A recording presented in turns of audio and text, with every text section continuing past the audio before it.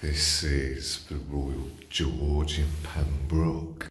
Yeah, Wickes scum system. There's another TC pan. Um, and yeah, nice type as your oils. This is not bad, the pans. So yeah, um, I doubt I'm going to get a high level today, to be honest. But yeah, we'll see.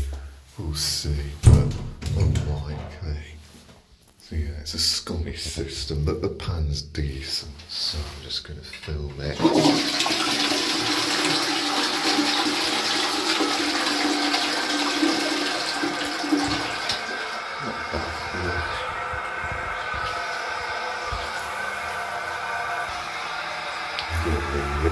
But yeah, as I say, the pan's good enough.